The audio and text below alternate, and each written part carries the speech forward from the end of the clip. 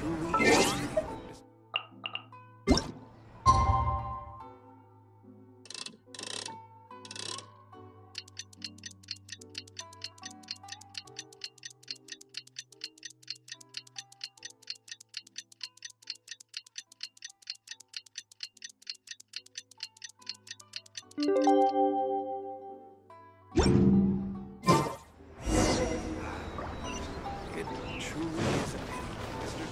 manuscript handed in in time for the festival.